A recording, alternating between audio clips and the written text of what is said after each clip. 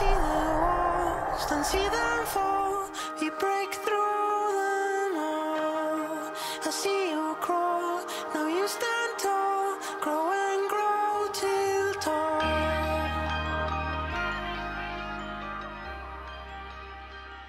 Dublin Diving Club has been in existence for over six years now.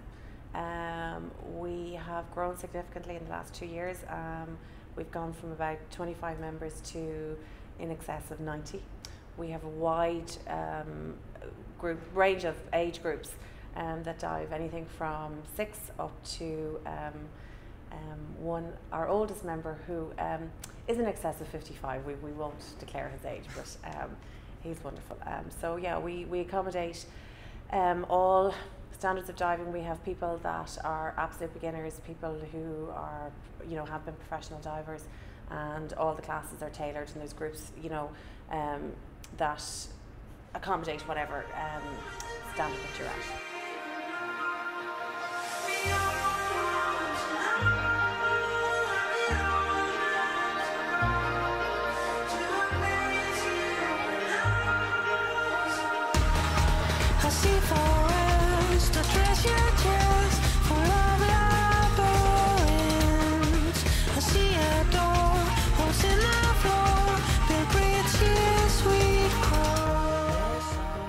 Ricardo Gutierrez is uh, Mexican, uh, larger than life. Um, he is a head coach with seven coaches that work with him. Uh, Ricardo um, has had a very interesting life as a professional diver. He travelled all over the world and um, was part of one of these, uh, you know, infamous diving shows which used to travel around Saudi Arabia and all these places. And the whole thing about the club is yes, we have our head coach, but we have seven other coaches. Um, um, we have Dave Linehan, who actually is uh, was the assistant national coach. Um, they're in the process of appointing somebody as assistant national coach at the minute. Um, Dave actually won in um, Gothenburg this year. He won a silver and bronze at the FINA World Masters. Um, we also have uh, Vlada Shapoval.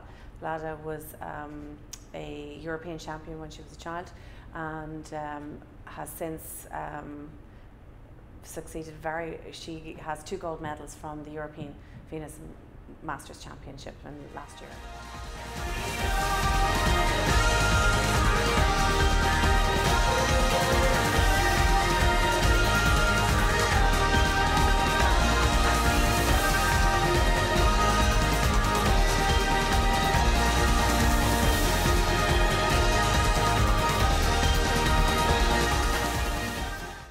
Have a wonderful program with Dublin City Council. Um, a lot of these boys would be, um, they're mainly boys. There's only I think two or three girls in total.